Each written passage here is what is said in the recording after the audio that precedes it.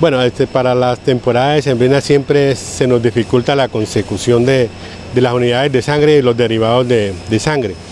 En este momento la institución cuenta con tres unidades de sangre.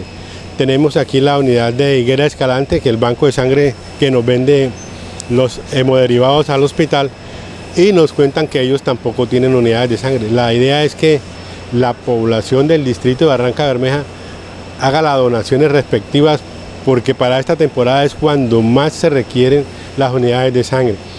Hace aproximadamente dos horas llegaron dos heridos por arma de fuego, eh, ambos requerían unidades de sangre y ya les dije que solamente tenemos tres unidades.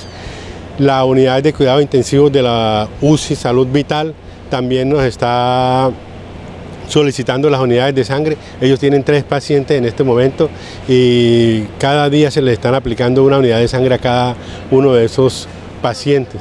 Así que si nos quedamos sin sangre, vamos a sacar el comunicado que no vamos a poder atender ningún paciente que en este momento requiera unidades de sangre. Invitamos a toda la población de Barranca Bermeja, a todo el distrito de Barranca Bermeja, que por favor se acerquen a los buses donde están procesando, donde están recibiendo las unidades de sangre para que hagan las respectivas donaciones.